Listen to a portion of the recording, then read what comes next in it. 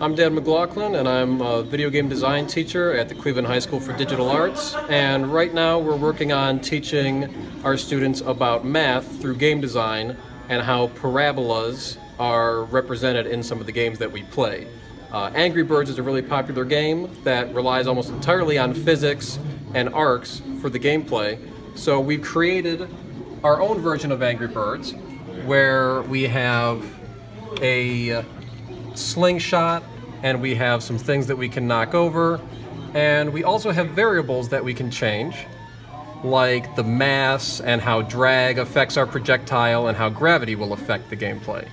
So with our gravity set at 1, if we go and play our game, when we launch our projectile, it flies very nicely. If we were to increase the effect of gravity on our projectile, and turn it up to, say, 5 instead of 1, that's represented in the game by making the object a little bit heavier. You can see it didn't fly quite as far. And if I was to turn the gravity up even higher, this time when I fire it, I'm going to be lucky if it goes very far at all.